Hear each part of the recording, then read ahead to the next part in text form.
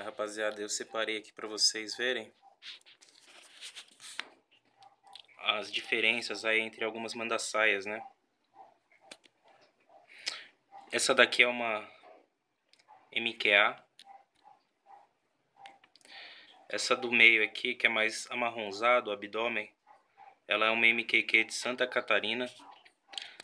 Ela não é mestiça, tá? Ela é uma MQQ mesmo. E essa do canto aqui, eu não tô conseguindo focar direito, ela tem um abdômen mais pretinho, tá vendo? Ela é uma MQQ mais aqui do, do bioma de São Paulo.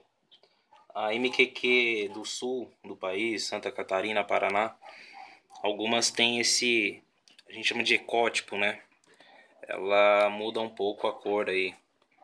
Ela é mais amarronzada o abdômen, né? Essa aqui é uma MQA que eu tenho.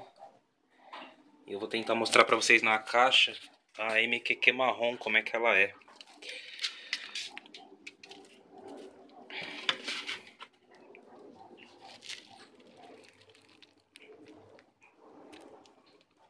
Ó, tá vendo? O abdômen dela é bem marronzinho, ó.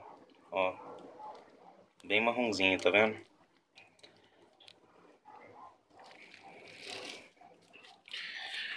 Ah, eu tenho aquela MQQ que é preta e uma outra lá do canto. E a MQA tá ali no, no cantinho ali. Mas era só isso que eu queria mostrar mesmo aí pra vocês, rapaziada. Pra vocês darem uma olhada aí nas, nas diferentes, nos diferentes tons, né? Ó, tem essa outra aqui também, ó, tá vendo aqui? Ó. Ela é mais amarronzadinha também. Então é isso aí, rapaziada. Um abraço. E fiquem com Deus.